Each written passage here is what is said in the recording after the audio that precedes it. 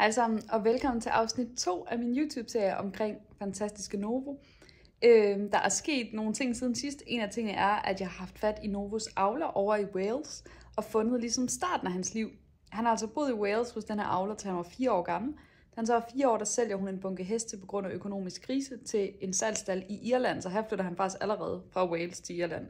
Øhm, Novo er så i den her salgstal, og hun finder ud af, Aula her, at ham, der har den her salgstal, tillader de her heste og behandler dem meget, meget hårdt. Og hun vil derfor gerne have hestene tilbage igen, men på det her tidspunkt, der har øh, salgsstanden allerede solgt Novo og en anden hest, så hun har ikke mulighed for at få de to tilbage, og har derfor ikke vidst, hvor de er havnet henne.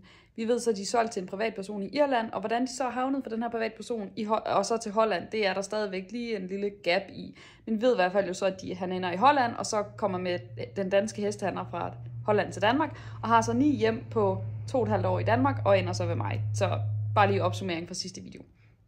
Det går rigtig godt med Novo. Øh, jeg jordtræner ham jo selvfølgelig en hel masse, og har en eller anden idé om, at jeg i hvert fald ikke så meget, som skal have tanken omkring ridning det næste måske år.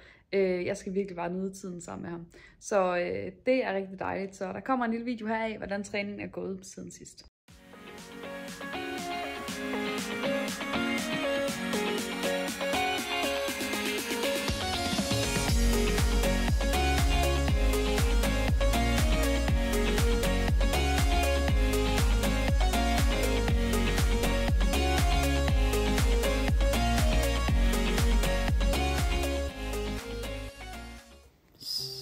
Her er Novo og jeg begyndt at lege lidt med podiet. Vi er altså ved at lege lidt med sådan den her idé om øh, dirigeret shaping og fri shaping, hvor jeg godt kunne tænke mig, at Novo han tilbyder mig en lille smule adfærd.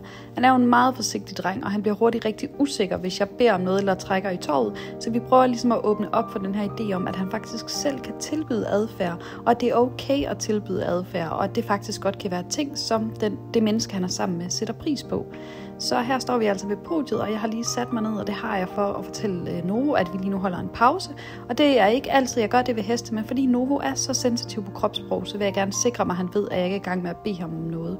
Så jeg kan se, at jeg spørger ham, om han vil holde fokus på podiet, beder ham komme lidt frem, og så løfter han benet meget, meget, meget forsigtigt.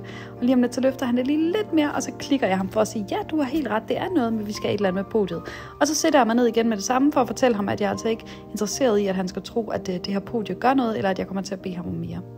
Og så herefter så satte vi os ned til en lille hyggesession, og øh, han er bare så sød og blid og forsigtig en dreng. Og det her, det var bare så fint et moment, efter at vi havde stået og leget med podiet lidt tid, fordi han endte faktisk med at blive rigtig afslappet. Det her klip har jeg også haft lagt ud på Facebook, fordi jeg synes simpelthen bare, det er så sødt, og man kan virkelig fornemme, synes jeg, på den her video, hvor blid en dreng han er. Og han begyndte også at stå og gabe og virkelig afspænde, og der er ingen tvivl om, at det her er et kæmpe skridt i, frem imod, at han synes, det er bedre at være sammen med mennesker. Her er vi altså så kommet ind i ridehuset, og det var en dag, hvor det regnede rigtig meget, og I kan se, at Novo han er meget mere urolig. Og her har vi jo endnu et hul i vores træning, vi skal have kigget på, og det er det her med, at han tror ikke på, at mennesker kan hjælpe ham. Så når han bliver usikker på tingene udenfor, så har han ingen idé om, at jeg kan hjælpe ham med at få ham til at føle sig bedre tilpas, og få ham til at få sit nervesystem i ro. Det her tror jeg faktisk er noget, rigtig mange mennesker glemmer, at vi kan faktisk hjælpe vores heste, så de synes, det er en bedre oplevelse. Så først så gik vi lidt rundt, og så prøvede jeg at bede Novo om en meget, meget nem lille øvelse, og det her, det var simpelthen bare lige at bakke, og det var bare lige et forsøg på at distrahere ham en lille smule for det, der skete udenfor. Vi lyttede til det, når vi havde brug for det, eller så stod vi bare lige her og slappede af. Og så er det igen det her med, at Novo lærer, at kommunikation med mennesker kan faktisk godt være rigtig hyggeligt og blidt og sjovt. Så jeg kan se, at det er nogle meget forsigtige små baksignaler, jeg giver ham, for ligesom at få ham til bare at have en eller anden oplevelse af, at vi står og har en kommunikation sammen. Jeg gør noget, han svarer på det, og så får han en godbid. Så han ligesom begynder at opleve, at man kan faktisk have en lille kommunikation sammen med mennesker. Det hele, det betyder ikke, eller det hele behøver ikke at være sådan forbindelsen af, at han føler, at jeg beder ham om noget. Og jeg kan faktisk se, hvor nervøs han blev, fordi jeg lige kom, kom til, eller det var ikke at komme til. Jeg bevidst prikkede ham øh, med pisken på bringen. Øh, men det er sådan nogle små ting, vi lige skal have vendet os til. Det her, det er lige noget helt andet, så nu hopper jeg lige lidt i det. Her der står jeg simpelthen og prøver på at få Novo til at få kontakt ned til sin krop. I kan se på ham, hvor meget han er udenfor, men også hvor usikker han er på, hvorfor jeg står og rører ved ham. Så jeg prøver ligesom at få hans nervesystem ved at, til at falde ned, ved at lave de her meget langsomme og bløde bevægelser. Og det jeg venter på, det er, at jeg ser en eller anden form for slip i hans krop. Det kan både være smasken, eller hovedsænk, eller blinken, eller et eller andet.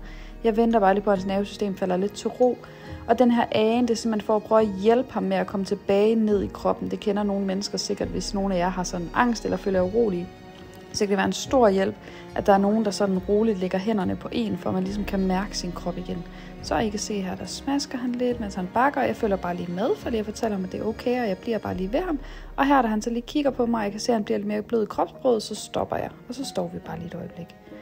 Og det samme, der sker her. Det her det er faktisk et rigtig fint moment. Nu er igen lidt urolig over det, der sker udenfor. Jeg rører ham, han smasker og selvregulerer, og jeg stopper så med at røre ham, og så vælger jeg faktisk også at sætte mig ned.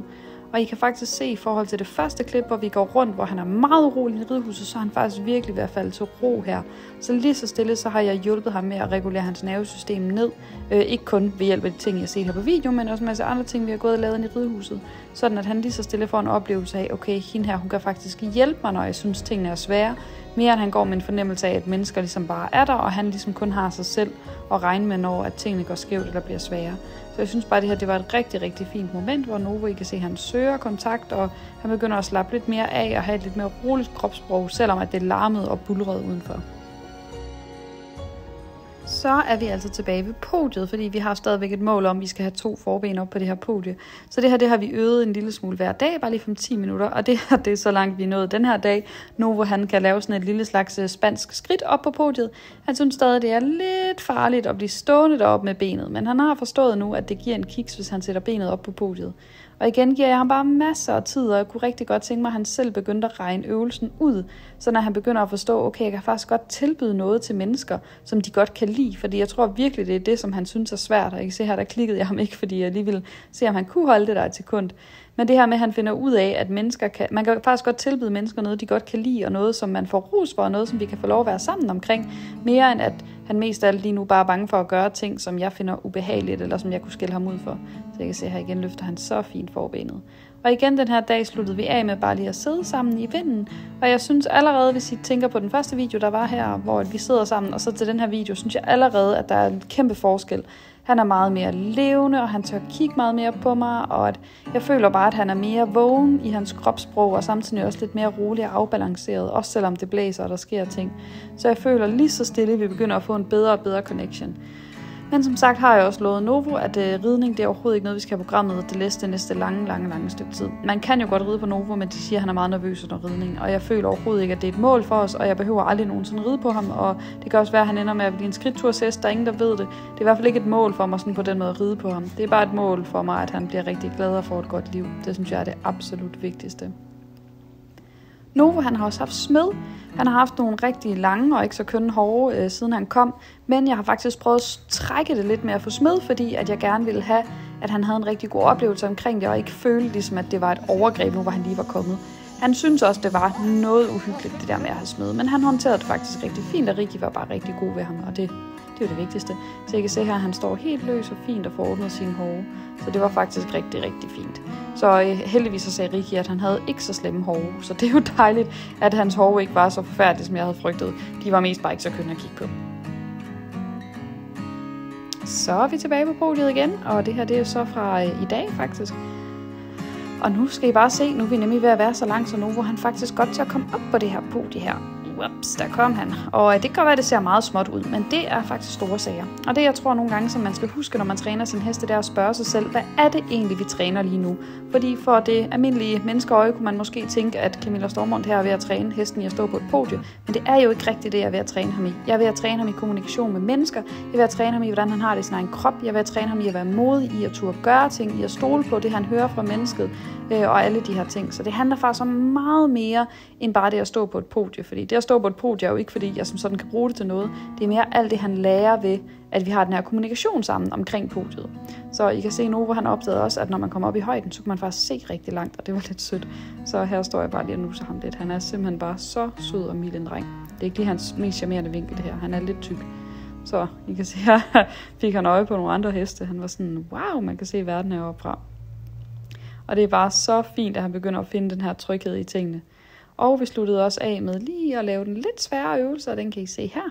Så øh, det her det var altså andet afsnit om Novo, og jeg håber, I nåede det rigtig meget. Og vi ses snart igen.